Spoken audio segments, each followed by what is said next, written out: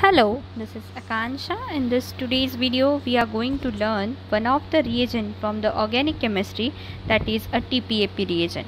This reagent is quite important reagent in organic chemistry. In various reaction, this reagent is asked in any step. So it is quite essential to know about the role of this reagent.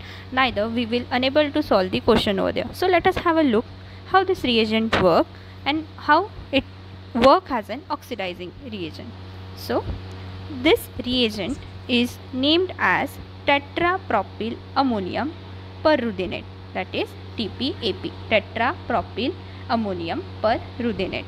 Okay, sometimes this reagent is named after its discoverer that is Ley-Griffith reagent. This is a Ley-Griffith reagent. Many times, yeah, if uh, if the question will be asked that uh, name which of the following is a Ley-Griffith reagent that is a tetrapropyl ammonium perruthenate reagent okay.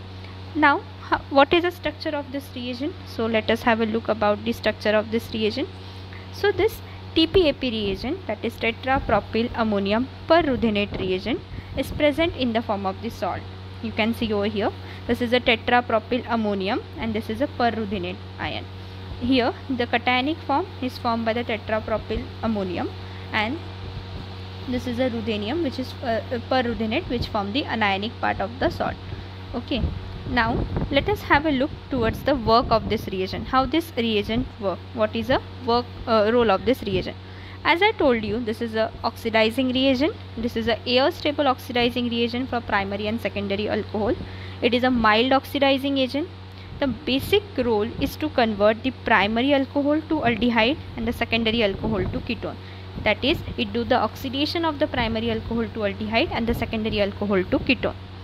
It is used, see over here, the last point is given, that is, it is used along with the co-oxidant, that is an NMO.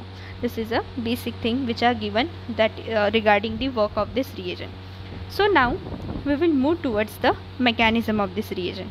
Okay, you can see over here that this is the primary alcohol okay this is the primary alcohol on the presence of this reagent in in this reagent the ruthenium which is present that is initially is in the plus 6 oxidation state. And here you can see uh, after the conversion of the primary alcohol to aldehyde the ruthenium is get converted into plus 4 oxidation state. It means that the reagent itself it, it is getting reduced and it is oxidizing the uh, it is oxidizing our alcohol. That is in this alcohol you can see over here the carbon is present in the minus 1 oxidation state. After the use of this reagent it get converted into plus 1 that is here the oxidation is occurring while the reagent is get itself reduced and it is oxidizing the another. That is th that is a oxidizing reagent. After the uh, after this uh, all process this reagent need to regenerate. So for a uh, for this a co-oxidant is used over here that is an NMO. That is after the oxidation of to the of the primary alcohol to the aldehyde this ruthenium um, needs to convert into the plus 6 oxidation state again. For that this ruthenium which is initially present in the plus 6 oxidation state is obtained by using the co-oxidant that is an NMO okay this is an NMO structure. Uh, after the, after the use of this co-oxidant the ruthenium which is which was initially present in the plus 6 oxidation state is get uh, regenerated and then it can again use uh, to so now let us have a look towards the example regarding this reagent so in the first example you can see here the primary alcohol is given. Okay the we, we have already seen the role of this TPAP reagent. Uh, this TPAP re reagent is an oxidizing reagent. It will convert this primary alcohol to the aldehyde. Just that's it. Another functional group will remain intact over there. There is a no uh, role of this reagent on this epoxide or anything. Just the product will be this. Okay it, it is a quite simple reaction now moving towards the next example you can see over here this is a next example that is here again the primary alcoholic group is given along with the reagent that is a TPAP that will get converted to the aldehyde. Now moving towards the next example. Okay, this is a quite interesting example. Uh, here the two name uh, one name reaction and one reagent is get involved. As i already told this uh, many times this reagent is asked in the multi-step reaction. Okay in the first step the tpap is given and here you can see over here the ester uh, th there is a no role of the oxidation of the esters and etc so here this is the primary alcoholic group. This primary alcoholic group will get converted to the aldehyde.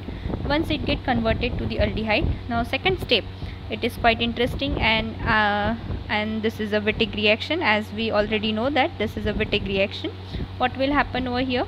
This uh, this uh, PPH3 and this oxygen will be removed and uh, uh, every, group will be attached over there. This is a Wittig reaction and we will get this product. Now moving towards the next example. This is this is a quite interesting example uh, taken from the book Carruthers so here you can see he, um, that the TPAP NMO and very big kind of the molecule is given.